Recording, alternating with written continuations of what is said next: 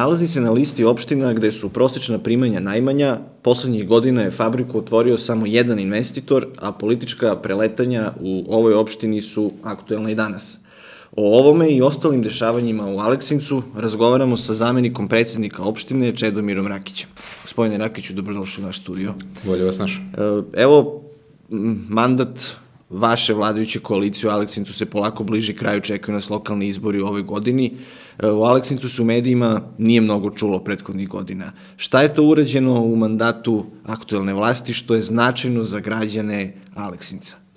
Pa ja bih da se na, da, da dam neki kratak odgovor, odnosno uvod na, na, vaše, na vaš sam početak, da e, slažem se da je opština Aleksinac jedna, da je u grupu nerazvijenih opština i u četvrtoj grupi razvijenosti, da prosečna primanja su takva kakva jesu, a da ima dosta, da ima više privrednih subjekata koji su otvarali svoje pogone ili koji su se širili, o kome, kao što ste rekli, nije se mnogo čulo i nije se pričalo, A što se tiče o političkim dešavanjima, preletima i ostalim e, zbivanjima, valjda je sve to postalo normalno u celoj Republici Srbiji, pa i šire, a i s obzirom da već smo polako ulazimo u nekoj predizbornoj kampanji, mislim da je to jedan normalan splet događaja u političkom životu. Slažem se, proći ćemo sve to kroz, kroz našu emisiju, kroz naš razgovor, ali evo za početak ono što sam pitao, dakle, ajmo nekoliko rečenica, šta je ono najznačajnije što biste vi istakli kao Uh,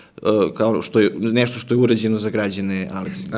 Uh, pa znate kako, što se tiče evo konkretno budžeta, znate kao i, i svuda opozicija uvek kritikuje budžet, ja moram da kažem da su budžeti u proteklih godina bili razvojni budžeti, uh, jer se radilo dosta i na infrastrukturi i na boljem životu građana. Ono što je možda najznačajnije i što je goruća tema i gorući problem skoro u, u, u celoj Srbiji, a to su E, nova radna mesta, odnosno upošljavanje i e, smanjivanje broja e, nezapošljenih u nacionalnoj službi. Moram da napomenem da je 2012. godine, novembra meseca, Aleksinac došao do jedne kritične tačke, odnosno do maksimuma broja neupošljenih I moram da se vratim i na to da opština Aleksinac u neko srećnije vreme 80. 90. godina pa i ranije je bila jedna od poznatih privrednih opština i da je radilo dosta privrednih subjekata koji su bili poznati ne samo u bivšoj SFRJ, već i širom Evrope. Nažalost, sve ono što se dešavalo i sve ono u nekoj situaciji u kojoj je bila i Republika Srbija, nažalost je to zadesilo i opštinu Aleksinac, mnogo nesrećnih privatizacija posle 2000. godine, mnogo jakih privrednih subjekata koji su se urušili, došli smo, da kažem, do te najnegativnije moguće cifre u novembru 2012. godine i na sreću pre svega građana opštine Aleksinac, ta amplituda je počela da opada.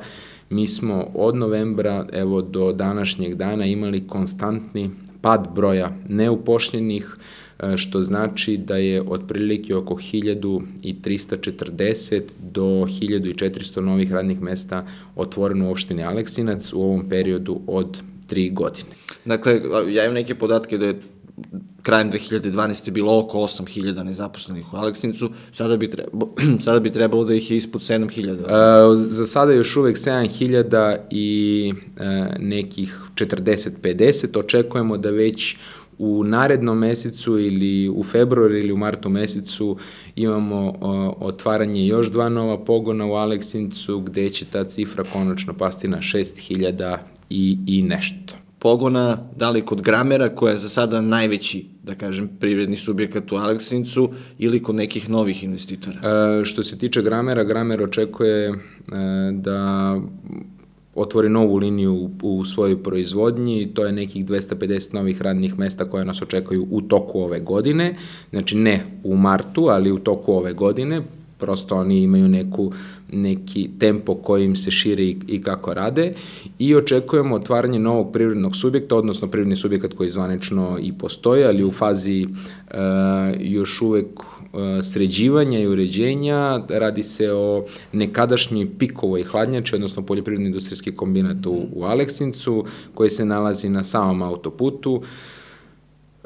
Radi se o novom investitoru, o domaćem investitoru i posebno mi je drago kad imamo tako uspešne naše privrednike koji pokreću e, neki novi biznis ili šire svoje kapacitete, gde očekujemo isto preko 100, možda čak i više stalno upošljenih radnika, i e, mnogo, mnogo veći broj sezonskih radnika i onih dobavljača koji će raditi za potrebe hladnjača.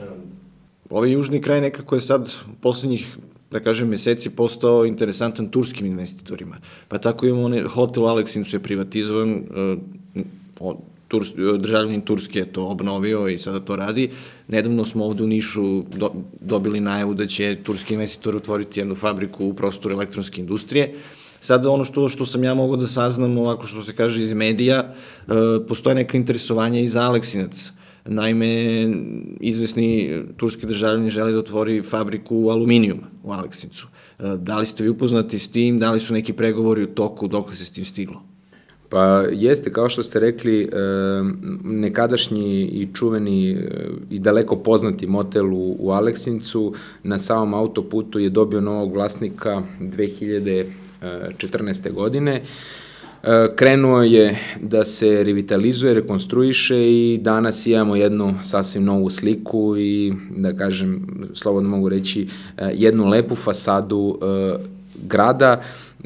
Radi se o proširenim kapacitetima, nekadašnjeg motela, otvaranju sportsko-rekreativnog centra, spa centra, ono što Aleksinac nije imao, e, otvaranje outlet centara i mislim da je to jako dobro i kroz širenje i turizma i nekih tih turističkih potencijala opštine Aleksinac, a opština Aleksinac to ima i zbog Bolonskog jezera i mnogih drugih e, sadržaja. E, E, što se tiče e, potencijalnog turskog investitora, ne bih želao mnogo da pričam, jesmo u nekoj početnoj fazi pregovora. E, sadašnji vlasnik motela, odnosno sadašnjeg Bosforusa, gospodin Fevzi Šilik je trenutno u Turskoj, on treba da bavi još neke razgovore sa njima i ja očekujem da februara meseca mi već imamo nešto za, o čemu bi mogli da razgovaramo za, za stolom. Jeste to jako dobra investicija. Znate, ljudi kažu pa zašto ne dovodite investitore? Investitori nisu na drvetu pa ih vi uberete, a drugo i kad oni dođu, mnogo uslova treba i preduslova da se spremi da i odgovarajućih nekih momenta kako bi taj potencijalni investitor bio, bio zadovoljan. Kako opštine radi na tome, na tom dovođenju investitora? Da li su pripremljene radne zone u Aleksincu, da li se zna šta se njima nudi, gde bi mogli oni da izgrade svoje postrojenje ili da renoviraju neka postojeća i kako stoje stvari oko izdavanja tih potrebnih dozvola, znamo da je to njima vrlo važno. Pa evo ja ću da vam samo jedan, nešto jedan moment vezano za upravo tih ta otvaranje tih novih radnih mesta u protekle tri godine, mogu da vam kažem da sve što se gradilo i radilo i rekonstruisalo, radilo u veoma, veoma brzom roku i što se tiče logističke podrške i što se tiče te pravne birokrate, odnosno državne, državnih nekih obaveza i do dobijanja upotrebne dozvole na svim nivoima i otvaranje novih radnih, e, radnih mesta. Nije samo gramer kod nas u Aleksincu, imamo mi e, još i stranih, ali i domaćih investitora koji su e, otvarali svoje pogone. Imamo nekadašnju fabriku za hladno oblikovanje profila i cevi na Aleksinačkom rudniku, koja je imala jednu neuspelu privatizaciju, koja je doživela ponovni stečaj to od, od stranog investitora, Sad imamo domaćeg investitora i to uspešno radi i to radi, mogu da kažem, punim kapacitetom i evo um, investitor uh, planira proširenje kapaciteta, to je valjda samo dokaz da uh, je i logistička podrška lokalne samuprave i sve ono gde lokalna samuprava može da bude posrednik uh, između države i samog privatnika da to jako dobro radi i valjda je to ono što pokazuje da e, više otvorenih privrednih subjekata u opštini Aleksinac postoji. I moram da napomenem, ja to stalno kažem da e, koliko su nam bitni novi investitori, jednako ili čak i možda su nam više bitni oni koji dugo godina rade, stari privatnici i privrednici jer e, bez njih sve ovo ne bi moglo da funkcioniše, oni su jedna reklama, jedna slika jednog privrednog potencijala grada, a oni to jako dobro rade i gledamo koliko pomažemo novim, da toliko pomažemo i postojećim ne bili i oni se širili i jačali svoje kapacitete. Lokalni akcijni plan zapošljavanja planiran je i budžetom za 2016. godinu. Koliko sam ja video, za to je izdvojeno 5 miliona, tako planirano da se izdvoji 5 miliona dinara. Šta konkretno? Na, jeste lokalni akcijni plan ove godine predviđen iz budžeta opštine Aleksinac za 5 miliona, s obzirom da se opština Aleksinac nalazi u četvrtoj grupi razvijenosti, mi e, ćemo tražiti veći e, deo sredstava, odnosno da idemo u sufinansiranje sa Republikom Srbijom, odnosno sa Nacionalnom službom za zapošljavanje. Videli ste sigurno da nam je pre pre par nedelja bio i u posti ministar rada, da je bio i direktor nacionalne službe, generalni direktor nacionalne službe iz Beograda i da imamo obećanja da će ovaj trend što se tiče pomoći nacionalne službe opštini Aleksinac ići i dalje. Na naših planiranih 5 miliona mi ćemo tražiti još 11 miliona od države. E, imamo obećanje da će to da ide sigurno i ono što je jako bitno što će to ići e, maltene 80% sredstava će ići isključivo privatnom sektoru, odnosno privredi, a ostatak javnom sektoru. E, isto tim budžetom, koliko sam ja video, planirane su samo tri, da kažem, kapitalne investicije na rekonstrukciji vodovoda i putu ka Trnjanu i kanalizaciju ulici Lele Popović, koliko sam ja pročitao u, u budžetu. Zašto samo tako malo? Pa prosto nije, nije, nije baš to, to, to tako. Na budžet opštine koji je toliki koliki je, jedan da kažem, trećina sredstava ide javno preduzeću direkciji za izgradnji i, i urbanizam. Oko 400 50-460 miliona je budžet direkcije za ovu godinu. U tom budžetu su predviđena sredstva i za neka redovna održavanja, što puteva, što javne higijene i svega onoga što javno preduzeća imaju u opisu svog, svog posla na teritoriji jedne opštine. Mnogo je tu kapitalnih stvari, ja ću samo da vam kažem što se tiče eto vodovoda, preko 100 miliona je obezbeđeno za vodovode, opština Aleksinac kao jedna velika opština koja se prostire na 707 kvadratnih kilometara, e, dosta razuđena, 71 naseljeno mesto, mi smo iz godine u godinu radili na proširenju gradskog vodovoda i dovođenju e, znači gradske pijaće vode do e, svih sela tamo gde ima interesovanja. Čak i tamo gde nema interesovanja lokalnog stanovništva, mi smo radili primarni cevovod sa mogućnošću da onog trenutka kad se stvore uslovi i interesovanje građana može da se radi i sekundarni, sekundarni vodovod. E, što se tiče ostalog plana i programa direkcije, e, svakako imamo e, oko 20 i nešto miliona za e, kanalizaciju, mnogo projekata koji treba da se urade za nešto što je pripremno za neke buduće radove. Što se tiče putne infrastrukture, takođe negde oko 100 miliona je predviđeno za i za tu namenu, tako da, kažem, nije baš, nisu to samo tri kapitalne investicije, prosto Aleksinac kao velika opština mnogo potreba ima i ja verujem i da ceo budžet opštine bi usmerili e, ka direkciji, on ne bi bio dovoljan za za ulaganje, baš zbog toga što smo i, i, previše, i previše veliki. E, da se dotaknemo malo ovih političkih tema, pošto smo stigli do kraja emisije. E, juče je već bilo neko da kažem, preletanje odbora Jedinstvene Srbije u Jedinjenu seljačku stranku. Sad znamo da Jedinstvena Srbija u koaliciji sa SPS-om, Ujedinjena seljačka stranka, s druge strane sa SNS-om. Da li to možemo ovako šire da gledamo kao neko e, otimanje odbornika e, Srpske napredne stranke, to jest Socijalističke partije Srbije od strane Srpske napredne stranke?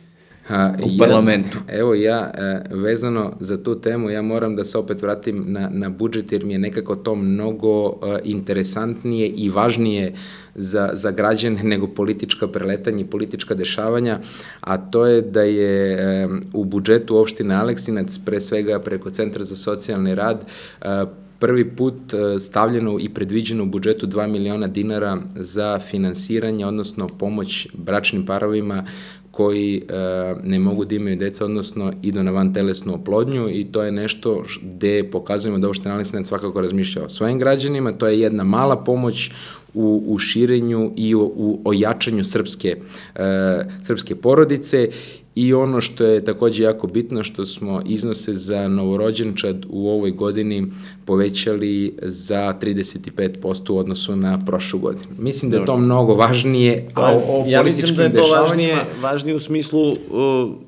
što se tiče građana, ali za građane je takođe bitno ko odlučuje, jer ti ljudi koji su juče menjali stranke, da kažem, dresove, dižu ruke za upravo te odluke o kojima ste vi govorili. Pa možda tu se napravi da vam kažem neki nešto, problem. Na, na, na vladajuću trenutnu strukturu u opštini Aleksinac pre svega čine uh, Srpska napredna stranka kao najveći koalicijni partner i Socialistička partija Srbije kao tradicionalno dobar uh, partner. E, što se tiče političkih dešavanja, političkih preletanja i menjanja klupa, e, to je nešto što je postala praksa u, u, u celoj Srbiji, e, kao što sam na početku rekao. E, ne radi se o nikakvim preuzimanjima odbornika, ne radi se o podmetanju ili postavljanju klina u točkovima. Ja moram da, da napomenem da je saradnja između SNS i SPS u Aleksinicu na jednom zavidnom nivou i da e, nemamo problema oko funkcionisanja, oko donošenja bitnih e, odluka za, za opštinu Aleksinac. E, mislim da je to pre svega više stvar e, tih malih koalicijonih partnera uz dužno poštovanje prema, prema svima i prema seljačkoj stranci i prema jedinstvenoj Srbiji. To je nešto što su oni sigurno odlučivali na svojim e, organima, partijskim organima ili stranačkim organima. Ja kao predstavnik e, druge političke opcije ne želim da, da pričam o tome, to je nešto, e, pre, mislim da ono što, o čemu oni treba da vode računa, To nije ugrozilo i neće svakako ugroziti funkcionisanje a, lokalne vlasti i odnosa između dva najveća koalicijona partnera u opštini Aleksinac. Hvala vam na gostovanju. Hvala vam. Gledali ste emisiju 15 minuta, moje ime je Aleksandar Stankov.